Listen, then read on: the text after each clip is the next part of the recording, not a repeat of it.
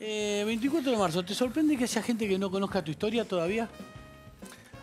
Bueno, no, puede ser que haya muchas personas que no la conocen. Eh, no creo que haya argentinos que no conozcan la historia eh, de los nietos que la dictadura apropió, le sacó la identidad, eh, o de la dictadura en sí, ¿no? Me parece que también lo que tenemos que seguir trabajando no solamente es mencionar la dictadura como el golpe de Estado que hizo desaparecer 30.000, que robó 500 identidades, sino también las consecuencias económicas. Eso creo que falta aún hablar mucho más de eso.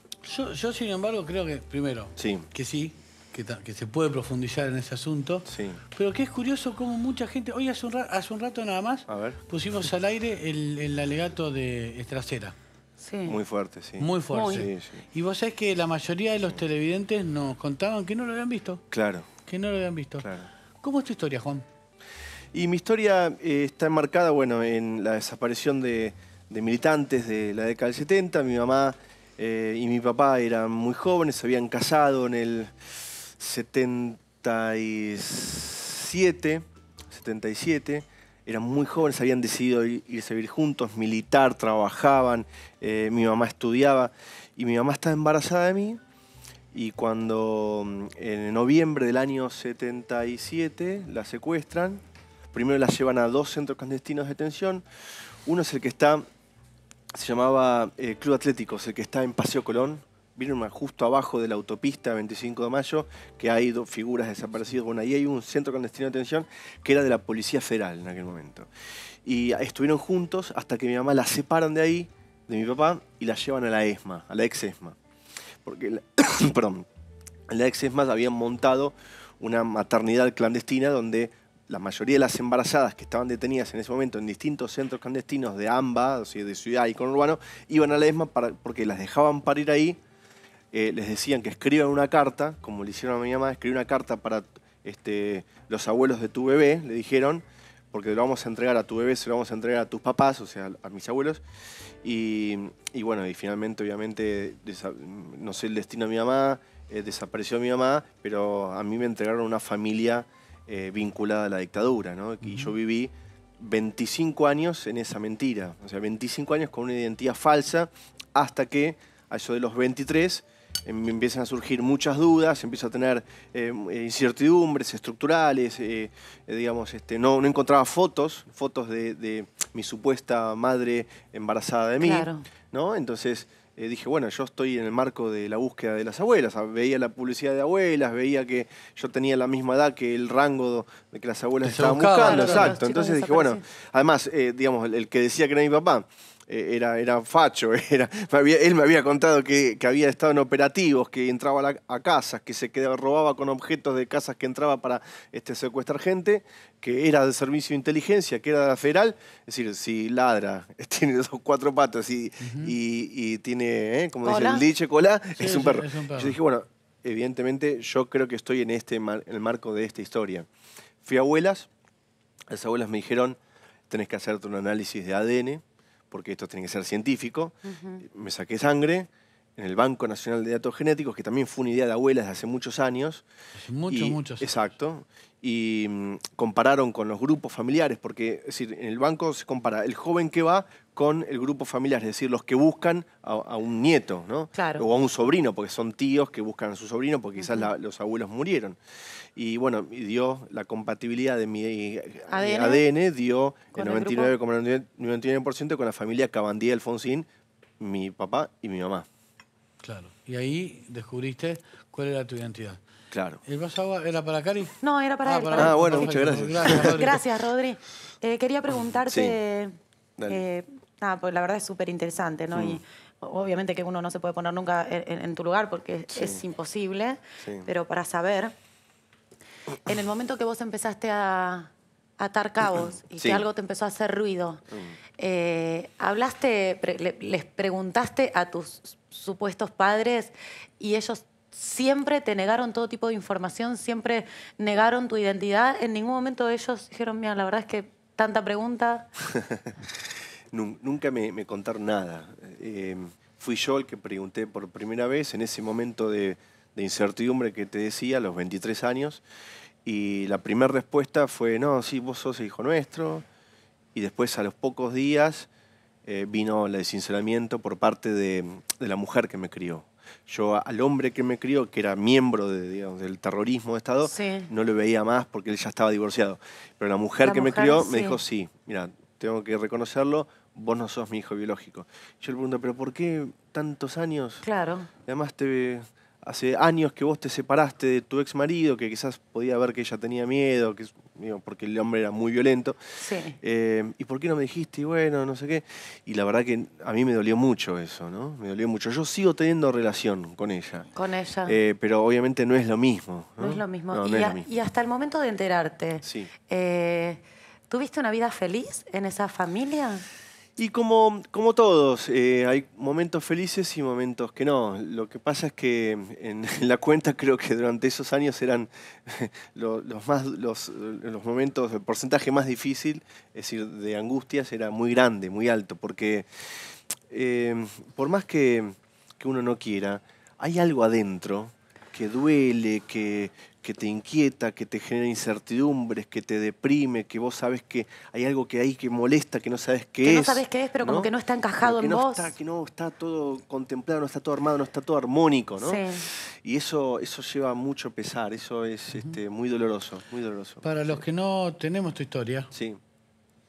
siempre, o sea, siempre, para, los que no tenemos tu historia y, mm. y, hemos tenido alguna afinidad con, con la militancia de derechos humanos, estuvimos cerca de esas ideas, no hay contradicción. Es ni olvido ni perdón. Es como, viste, nosotros crecimos, ni olvido ni perdón, y, hoy, treinta y pico años después de cuando yo lo dije la primera vez, y me preguntaste, ni olvido ni perdón. Ahora, en un caso como el tuyo, cuando no es en general, para mí es fácil decir ni olvido ni perdón, ponele, porque esos asesinos son personas a las que yo debiera meterme en un entramado familiar.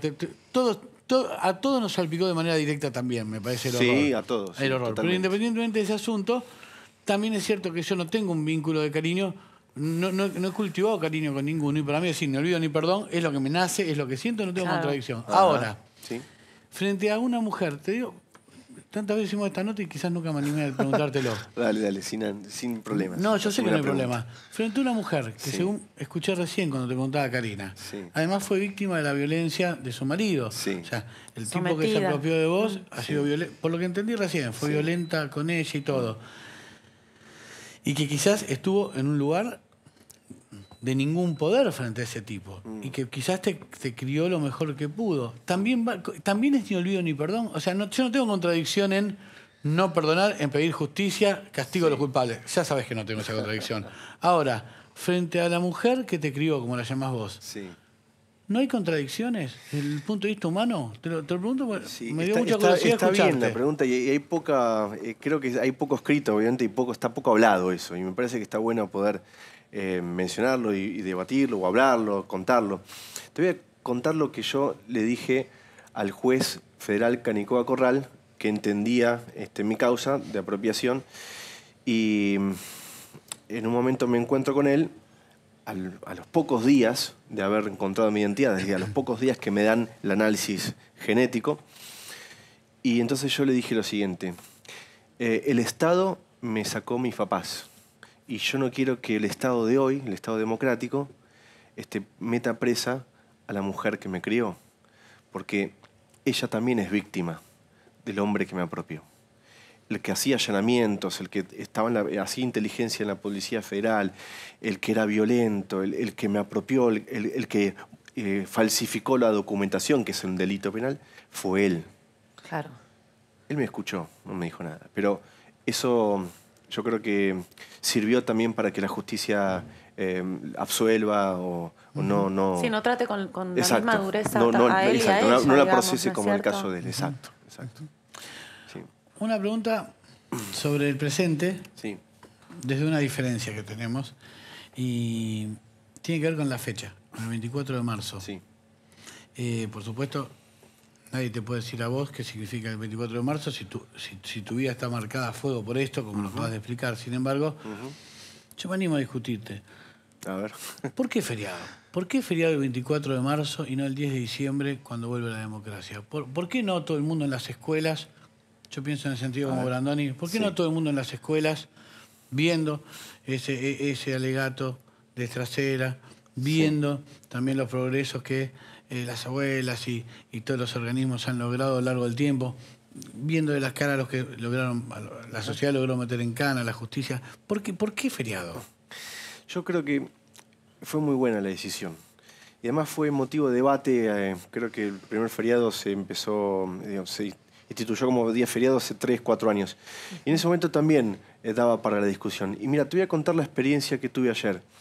Ayer en la mañana eh, fui a la Plaza de Boedo, en el barrio de Boedo de la Ciudad de Buenos Aires, con tres jardines infantes, tres jardines y con sus docentes y con los padres y con los niños. Tuve que hacer todo un esfuerzo pedagógico para poder explicar esta historia del 24 de marzo a nenes de, 4 o 5 años. Eh, y después de ahí tuve que irme corriendo a Barracas, también a una escuela primaria, quinto, sexto, sexto y séptimo grado. Y, y esto es muy bueno que sea así porque el hecho de que sea feriado habilita a que las escuelas tengan que tratarlo obligatoriamente. Antes, los 24 de marzo, si bien estaban en la currícula que se entrega a cada docente, hay una autonomía áulica que cada docente quizás si quiere lo toca el tema y si no quiere no lo toma. Eh, y el hecho de que sea un feriado, hay que dar una explicación institucional. Y creo que eso favorece y fortalece nuestra democracia. Yo creo que está muy bien que podamos debatir acerca del 24 de marzo, porque no solamente tenemos que decirle nunca más a un gobierno dictatorial, sino que también nunca más a, gobiernos autoritarios, nunca más a, em, callar voces, nunca más a censurar programas de televisión, eh, nunca más al modelo económico que, instauró la dictadura. Mira, Gerardo, ustedes lo, lo sabemos, la dictadura cuando arrancó tenía 5 mil millones de dólares de deuda, cuando terminó tenía 50 mil la deuda, esta gran deuda que tiene Argentina, que el gobierno de, Cristina arregló el 93% y hoy, se está, en estos días se estará aprobando este, una ley que permitirá pagar al 7 restante, eh, se generó en la, dictadura. Entonces nunca más también a eso porque si no nos quedamos solamente con el hecho de que la dictadura y los militares y los tanques, no, también nunca más al autoritarismo. Entonces, hablar de esto creo que eh, entre todos vamos a mejorar nuestra democracia y eso es lo que permitió el feriado. Bueno, creo que en eso estamos todos de acuerdo. También, Luis, hoy temprano, digamos, en, en, poder conversar de esto, en informar, en que los chicos se enteren, en debatirlo, digamos, en eso estamos todos de acuerdo. Tal vez en lo que uno no sabe si cuál es el método mejor para llegar a eso. Es decir, bueno, si, si, si, al ser un feriado hay que tratarlo obligatoriamente como fecha este, especial en los colegios y por ahí, por otro lado, uno dice, bueno, pero la gente se lo toma como un fin de semana largo de vacaciones, ¿no? eso, es como ver desde qué lugar eh, uno elige percibir la misma situación, pero todos estamos, me parece que de acuerdo en esto de que vale tratarlo, que los chicos lo sepan, que vean este, este, estas imágenes que mostramos hoy temprano. Me parece que todo eso suma muchísimo. Sí, suma, suma. Juan, la última de mi parte. Eh, después de 40 años, tenemos una satisfacción. Al final siempre va para adelante. Al final siempre va. Y si viene el indulto, después nos movilizamos todos y nos mandamos en cana de nuevo. O sea, al final siempre va para adelante, siempre va para adelante a veces va para adelante un modo que nos gusta más, otros que nos gusta menos y discutimos. Y yo tengo, como sabes, alguna crítica que, cosas que no comparto, pero al final, si lo miras históricamente, siempre va para adelante. A mí me gustaría preguntarte para cerrar, si todo sale bien para, eh, para la Argentina y sobre todo para las causas de derechos humanos y para los que están comprometidos en esa lucha. El 24 de marzo del año que viene, sí. ¿Qué, debiera pasar? ¿Qué debiera pasar de acá hasta el año que viene para que la cosa siga para adelante? Más nietos recuperados. Si todo, si todo sale bien. el año que viene, nosotros estamos todavía acá con este programa, vos tenés la amabilidad de volver. ¿Y, qué nos puede alegrar? Yo creo que em, nos puede alegrar más encuentros de nietos.